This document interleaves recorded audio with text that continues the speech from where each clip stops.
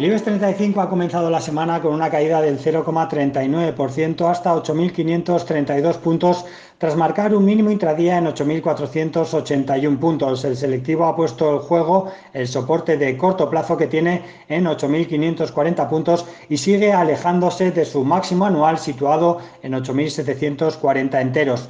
Los valores asociados a las energías renovables como Siemens Gamesa y Solaria han sido los más bajistas junto a Farmamar y también las acciones ligadas al sector turístico como la aerolínea IAG, AENA o Melia Hotels. Los inversores se encuentran a la espera del inicio de la temporada de resultados del primer trimestre que dará comienzo este miércoles en Wall Street con las cuentas de Goldman Sachs y JP Morgan.